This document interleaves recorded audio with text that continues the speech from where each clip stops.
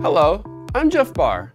I'm here to announce that you can now scale out your directory managed by AWS Directory Service for Microsoft Active Directory or AWS Microsoft AD by deploying additional domain controllers. By using AWS Microsoft AD, you do not have to synchronize identities from your on-premises Active Directory domain to the AWS cloud.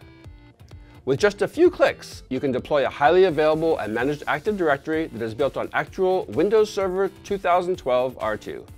Automated software updates, security patching, and failover are all provided as part of the service.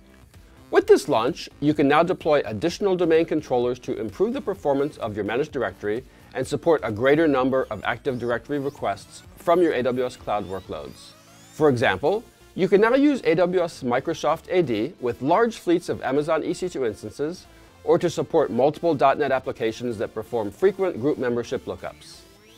Adding domain controllers to your AWS Microsoft AD domain also enables you to increase the resiliency of your managed directory for even higher availability. To learn more, visit the AWS website. Thanks for watching.